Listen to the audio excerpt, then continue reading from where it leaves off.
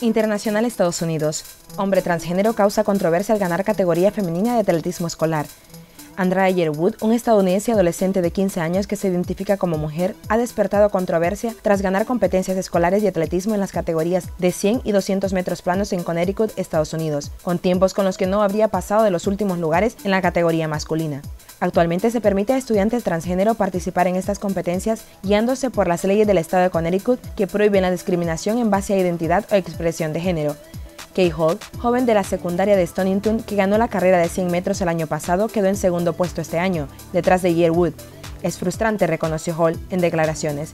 Así es como son las cosas ahora, no puedo decir realmente lo que quiero decir, pero no hay mucho que pueda hacer al respecto, lamentó.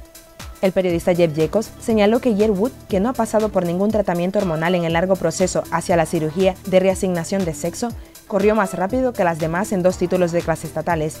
¿Fue justo? Sobre una base competitiva biológicamente no lo fue. La humanidad cuenta, así también la biología.